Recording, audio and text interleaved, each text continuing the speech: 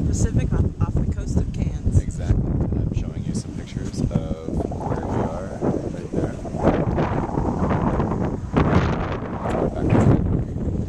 Um, so what are we doing exactly right now? We're going on an outer reef tour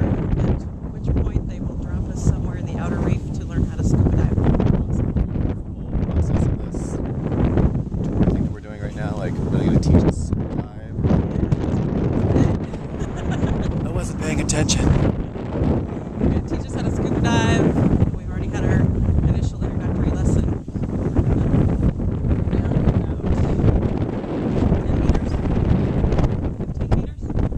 I'm just afraid I'm going to like breathe in water and or something. I wasn't totally sure on the whole decompression.